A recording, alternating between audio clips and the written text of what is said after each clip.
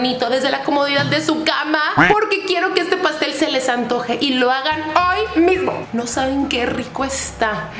Sí, yo ya lo probé. Está todo esponjosito. Perfecto, perfecto. Hoy vamos a seguir con nuestra serie de los pasteles hechos en la estufa y haremos el volteado de piña. ¿Has probado este pastel? Dime, dime, dime, dime. El volteado de piña.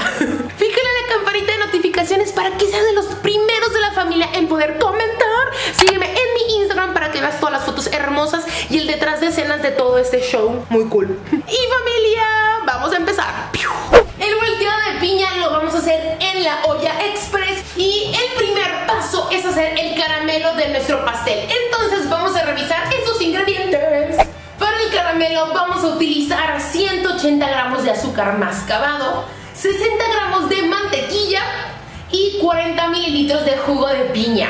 Esto va a formar nuestro caramelo y aparte vamos a utilizar rodajas de piña. Este estaba en almíbar, pero también puedes utilizar una piña natural y cortarla en rebanaditas y unas poquitas de cerezas que estas también están en almíbar, pero estas frutas las saqué súper súper bien para que no tuvieran agüita y esto va a servir como la decoración de nuestro pastel hermoso. Para el caramelo, en la estufa a fuego súper bajito, lo más bajito, vamos a poner nuestra olla express, le vamos a poner la mantequilla y vamos a esperar a que se derrita.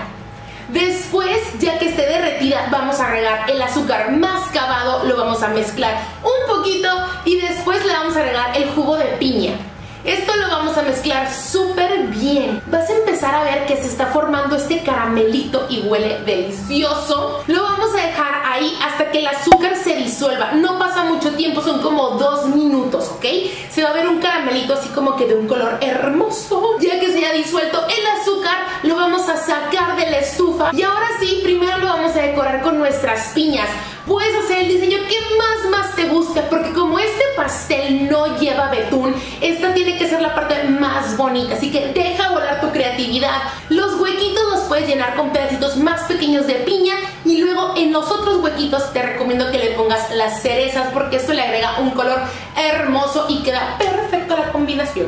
Ya que ya has terminado tu diseño te va a quedar algo más o menos así. Y ahora sí lo vamos a poner por un lado y vamos a empezar a hacer el pan. Ahora hacer la parte del pastel, del esponjosito pastelito, el bizcocho. Y para eso vamos a utilizar 120 gramos de mantequilla a temperatura ambiente, 180 gramos de azúcar refinada de la blanca normal que tienes en tu casa, dos huevos, una cucharadita de vainilla, dos cucharaditas de polvo para hornear y una pizquita de sal, 200 gramos de harina normalita de trigo, 80 mililitros de leche entera y 60 mililitros de jugo de piña.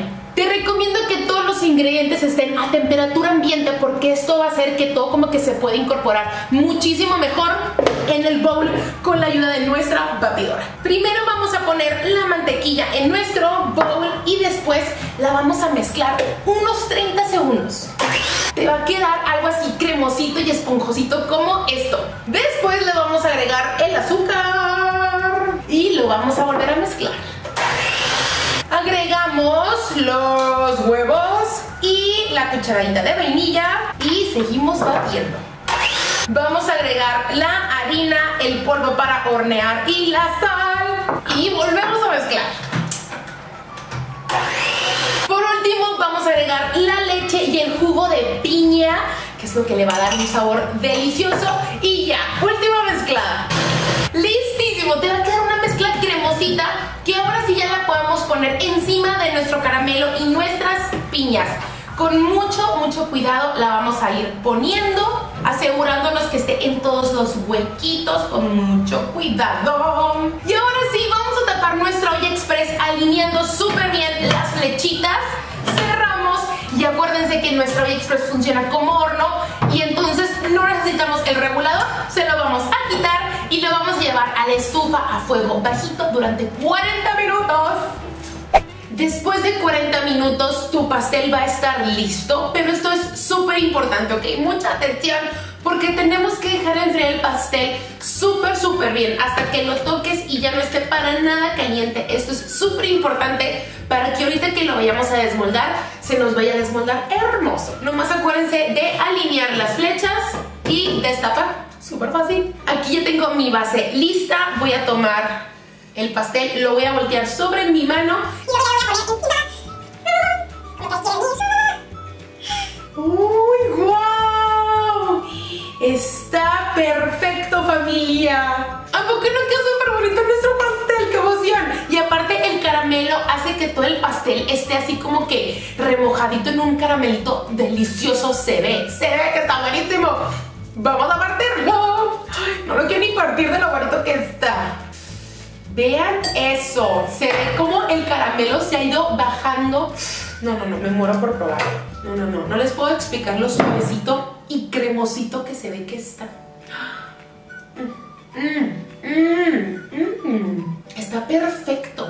Está esponjosito. Está cremosito por el caramelo. Ay, no. Me encantó. Imagínenselo con una taza de café. Yo me muero. Yo me muero. Familia, muchas gracias por acompañarme en un video más. Espero que les haya encantado el volteado de piña. Aquí en México se usa decir piña para la niña. ¿En tu país también se dice piña para la niña? ¿Por qué nomás? Familia, les mando muchos abrazos. Espero que lo hagan prontito y me manden sus fotos. Y nos vemos en el próximo video. Bye.